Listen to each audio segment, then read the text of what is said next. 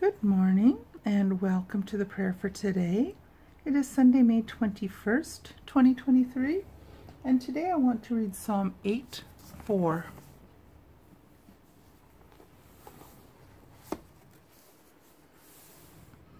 What is man that thou art mindful of him, and the Son of Man that thou visitest him?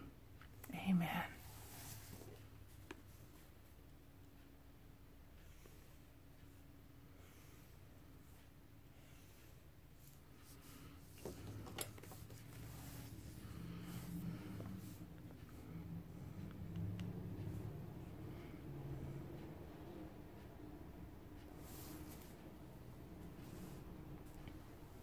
God, I am mesmerized, awestruck over the beauty of your creation.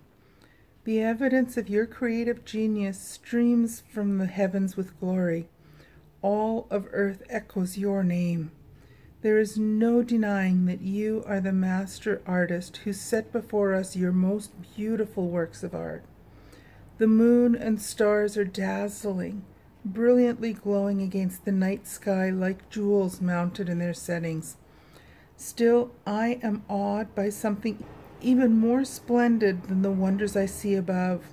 God, though you are famous, great and powerful, you know me by name and call me your child. I am your masterpiece. My Father, whose name is known throughout the universe, you have created me to be just like you. Filled with glory, I will shine in the darkness, illuminating the world with your splendor and compassion. Crowned with majesty, I will stand in authority before wild animals and magnificent mountains. What an honor it is to know you and be known by you. Together we fill the earth with the nature of who you are, the very essence of love. Amen. Thank you so much for joining me this morning. Take care. God bless you, and I will see you tomorrow.